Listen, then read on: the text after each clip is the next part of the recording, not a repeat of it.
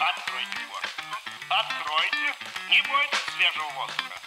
Прошу вас расстегнуть воротничок. On va vous présenter le programme des lettres et du code. Et notre défi, c'est d'écrire une phrase de, de Jean La Fontaine. Ноги соедините, руки опустите. Ноги соедините, руки опустите.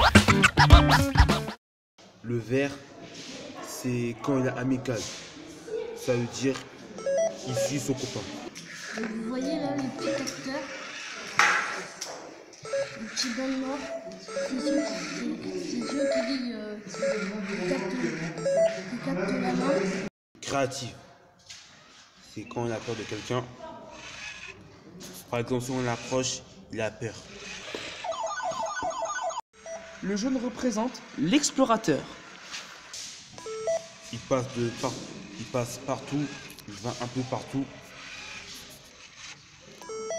Le violet représente l'obéissance. C'est Regardez. obéissant, voilà. C'est pas les deux trucs, c'est pas comme ça.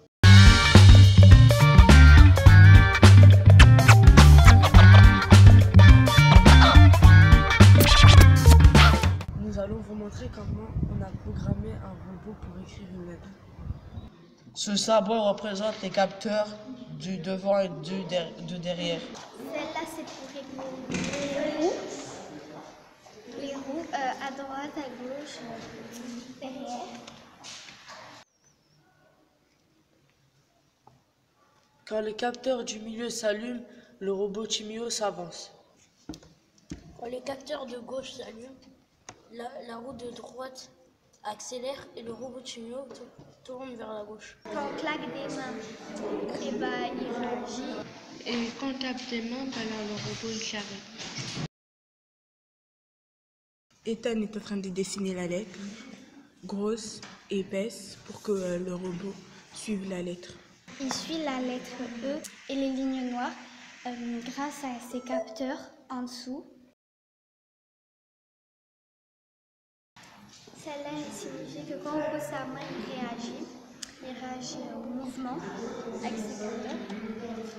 Quand on pose la main sur le robot, il se met à avancer tout droit. Quand on appuie sur la flèche de gauche, la roue de droite accélère, ce qui fait tourner le robot à gauche.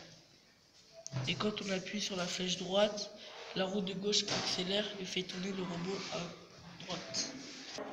Le robot a, a- a tout suivi à la lettre.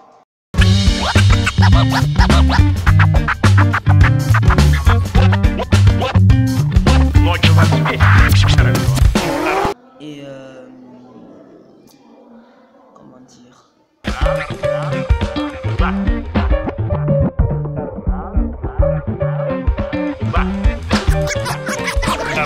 C'est tout.